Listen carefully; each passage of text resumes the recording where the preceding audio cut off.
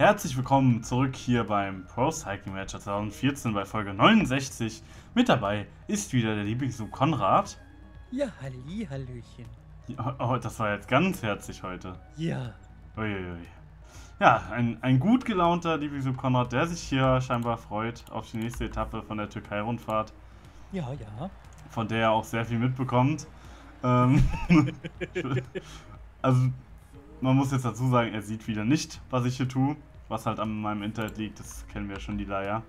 Ja, wir haben die Option, entweder ich höre ihn oder ich sehe, was er spielt und dann höre ich ihn doch lieber. Weil das Let's Play kann ich mir dann auch noch angucken. Richtig. Na siehst du, da habe ich ja doch noch einen Zuschauer irgendwie. Ja. So gesehen. So, heute fünfte Etappe von äh, Marmaris nach Tur Turgutreis. Tour Ein Sch- gut Reis. Ja, Turgutreis. Das ist ja hm, ein, ein schöner Name. Mhm. Bis nach Asien, ja, das könnte man so denken. Naja, Türkei ist ja zur Hälfte Stimmt. Asien. Oder fast ausschließlich Asien. Hast du Außer so ein recht. kleiner Zipfel. Aber auch die kleinen Zipfel sind wichtig. Mm, ja, Denn ohne die kleinen würden die großen nicht mehr wirken. richtig. Oh Wenn alle Mann. Zipfel groß wären, dann. Ja. Alter. okay. Warum sind wir jetzt von Geografie? Keine Ahnung. Warum, warum bist du letztens vom Erklären von Hügeln zu Venushügel? Ich weiß es doch nicht. Oh Mann. Heute jedenfalls eine relativ hügelige Etappe, zumindest zu Beginn ist sie recht anspruchsvoll. Gegen Ende wird es ein bisschen flacher. Und es geht ja jetzt eigentlich nur darum, dass wir irgendwie das gelbe Trikot verteidigen. Das wir bei der dritten Etappe erobert haben, bei der Bergetappe.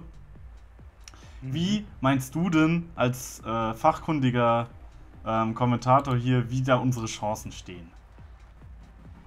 Mm, naja, da, da die Etappe am Anfang ist er anspruchsvoll, hast du gesagt. Mhm. Und dann wird sie immer flacher. Ja, ganz Das flach ja wird sie nicht, aber es sind dann nur noch kleine Wellen. Okay, dann ist das ja wie unser Humor, also müssen wir da ja erfolgreich sein. Ähm, ja, Ja, siehst du? charmant. oh Mann. Ja, vor allem, wenn man 1-0 zurückliegt, dann ist ja immer gut.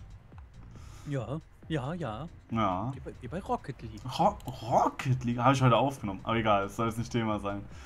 egal. Doch, du musst ja deine Fahrer-Zuschauer auch zum Autofußball lenken. Ja, also wenn Ja. ihr wenn ihr mal ein Spiel sehen wollt, das so halb Fußball und halb Autorennen, Action, Gedönse ist, könnt ihr euch ja mal Rocket League angucken. Ja, ja. Entweder auf dem Kanal der Rebellischen Rabauken, da mache ich das, oder beim Lieblingssub Konrad, der hat schon ein paar mehr Folgen. Da mache ich das. Ja, ich dann- immer ganz viele nette Leute mit dabei. Richtig, unter anderem auch mich zum Teil. Ja, ja. Also könnt ihr gerne mal reingucken. Oder beim Livestream, wenn der Fritto nicht in der Liga spielt. Äh, Ja, das ist auch lustig, habe ich gehört. oh Mann. Naja. Ähm, So, Werbung. Jetzt Ge- mal zum Programm. Genau, Programm. 120 Kilometer sind es noch. Ähm, vorne haben wir gerade neun Fahrer an der Spitze, die aber allesamt, ich gucke gerade mal, wer der Bestplatzierte ist. Das müsste Bono sein von der Lampre-Mannschaft. Der hat 11 Minuten 47 Rückstand, also keine wirkliche Gefahr. Zwei Minuten Vorsprung haben die Ausreißer. Unsere Mannschaft hinten im Feld versucht gerade den Abstand so ein bisschen konstant zu halten. Zwei Minuten sind es. Die können sie ruhig haben. Damit richten sie keinen Schaden an. Und ein kleiner Hügel kommt noch, aber es ist halt noch sehr weit bis ins Ziel. Von daher glaube ich nicht, dass da jetzt ein großer Angriff gestartet wird. Ähm, ich habe mir gerade eben, bevor wir die Aufnahme mal angefangen haben, die, die letzt, den Rest der Rundfahrt mal angeguckt. Da kommt noch eine Etappe, die hügelig ist. Und bei den Flachetappen soll es kein Problem sein, eigentlich das Trikot zu verteidigen. Also die hügelige müssen wir noch überstehen. Dann würde ich sagen, haben wir es auch schon so, so gut wie geschafft. Hast du nicht so gute Bergfahrer? Doch. Deswegen ja. Also ja, sch schon, aber es sind ja hügelige Etappen. Ah, Am Hügel ist er, ist er schon nicht schlecht, aber wir haben hier noch ein paar im Feld, die am Hügel richtig gut sind. Zum Beispiel Toni Gallopeur und Luis Leon Sanchez, die dir bestimmt viel sagen werden. ja, ja, natürlich. Du kennst dich doch mit Fußball aus. Bisschen. Bisschen. Es Ja. hat mal bei Real Madrid, das ist noch gar nicht so lange her, ein Fußballspieler im Mittelfeld gespielt, der heißt Pedro Leon. Ja, Sagt dir der was? Nein. Verdammt. Das ist nämlich eine ganz lustige Geschichte, ähm, die auch sehr kurz ist. Das ist der Bruder von diesem Luis Leon Sanchez. Oh, haben die sich früher aufgeteilt? Scheinbar. Fährst Fahrrad und ich spiele Fußball. Ja, und beide immerhin auch professionell und scheinbar recht erfolgreich unterwegs. Der. Das ist, wenn die Eltern nicht mehr Spielzeug haben, außer ein Fahrrad und Fußball. Ja, wird aus den Kindern was. Scheinbar. Der eine hat bei Madrid gespielt, ich glaube, jetzt guckt er irgendwo in der spanischen Liga rum bei irgendeinem anderen Team. Und Luis Leon Sanchez hat, glaube ich, auch schon mal Tour de France-Etappen gewonnen oder sowas, also auch recht erfolgreich unterwegs. Und die wollten mich ja bei der letzten Aufnahme, daran wirst du dich nicht mehr erinnern können, weil du es ja auch nicht gesehen hast, in dem Sinne, ähm, wollten die mich ja auch schon ärgern. Von daher bin ich da ein bisschen. Naja, man muss halt gucken. Darf sich halt nicht überrumpeln lassen und dann dürfte es eigentlich kein Problem werden. Was meinst du, wer denn mehr verdient von denen? Der Fußballspieler oder der Fahrradfahrer? Der Fußballspieler. Also sind Fahrradfahrer nicht so doll bezahlt? Nein. Ganz Okay. bestimmt nicht. Das dachte ich mir, als ich den Jan Ulrich letztens wieder gesehen habe. Ja, gut, wobei so ein Jan Ulrich, der hat bestimmt viel schon recht gut verdient, als der gefahren ist, noch aktiv.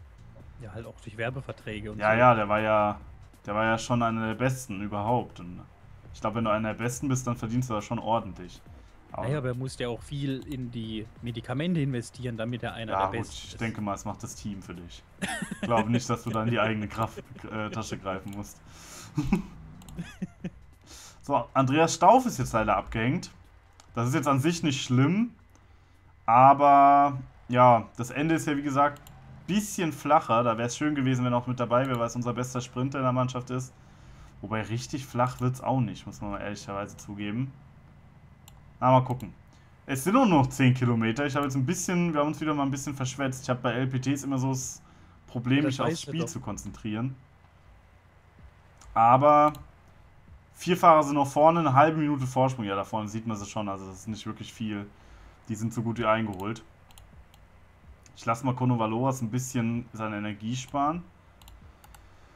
Denn vielleicht kann der ja noch mal was reißen. Er ist ja am Hügel auch nicht so übel. Am Hügel auch nicht so übel. Äh. Voll, voll der Leid, voll die Leid, Alter. oh Mann. Warum bist denn du aus dem Battle Rap Turnier rausgeflogen, Tja. wenn du immer so Dinger raushaust? Tja, tja, tja. Ich merk's ja nicht mal. Ich, ich spreche ja schon normal so. Das ist wie deine Titel bei den Minecraft Let's Plays. Hm. Was ist mit denen? Ja, das sind auch immer so kleine Lines, so Mini-Reime.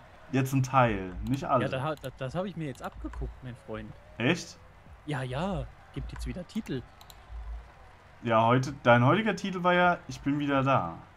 Ja, ja, ja. Das war gut. ja, mit vielen A's. Ja, ich bin wieder da. So, ich hab's, glaube ich, jetzt schon ein bisschen verkackt. Mantis ist noch vorne mit dabei, aber mit dem. Ach komm, wenn er schon vorne dabei ist, dann sprinten wir jetzt mit, mit unserem besten Bergfahrer. Das ist mir jetzt auch egal. Gucken wir mal, was er da hier leisten kann. Auch wenn es jetzt natürlich unnötig Kraft kostet. Oh mein Gott.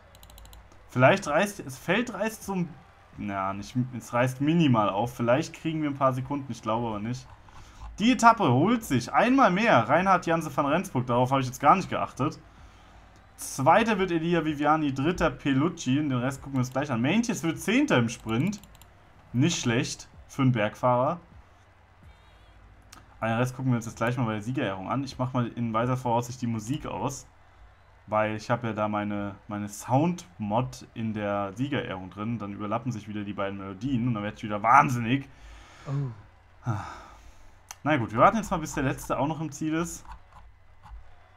Das ist Palmer von der Drapac-Mannschaft in Australien. Auch der letzte darf ja mal erwähnt werden. Und hier sehen wir nochmal den Sprint. Van Rensburg also im grünen Trikot des Sprintbesten. Holt sich auch diese Etappe. Der ist so ein bisschen. Na, die Entdeckung dieser Rundfahrt würde ich jetzt nicht sagen, aber es überrascht mich schon, wie viel er hier gewinnt. Zweiter, also wie gesagt, Viviani, dritter Pelucci, vierter Morkov, Murkov, ich weiß immer noch nicht, wie man ihn ausspricht, fünfter Nasser Buani, dann Koren, Reines, Porsev, Van Stein und Maintjes auf Rang 10, wie gesagt.